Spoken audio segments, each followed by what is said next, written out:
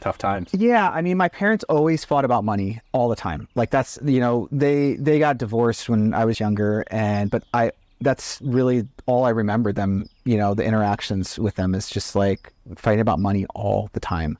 Um, I mean, you know, things were lean, and like we'd go to McDonald's, and you know, my dad would buy one hamburger and cut it in half and give my brother half of it and me half of it.